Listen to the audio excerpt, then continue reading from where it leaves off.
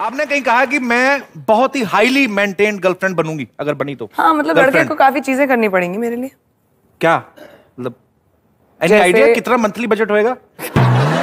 बंदा उस हिसाब से सोचे फिर आज से ज़्यादा ज़्यादा ऊँचे हवा में घोड़े क्यों चलाने नहीं यार धन मेरे पास है प्यार चाहिए।